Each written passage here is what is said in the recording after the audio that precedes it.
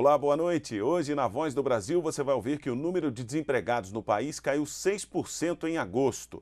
Foi lançada uma campanha para estimular a população a consumir mais alimentos saudáveis, como frutas, verduras e legumes. E ainda hoje, no estúdio da Voz do Brasil, ao vivo, a ministra do Desenvolvimento Social e Combate à Fome, Tereza Campelo, responde a perguntas de ouvintes sobre a atualização do cadastro único. Daqui a pouco, às 7 da noite, na Voz do Brasil, em todas as emissoras de rádio do país. Até lá!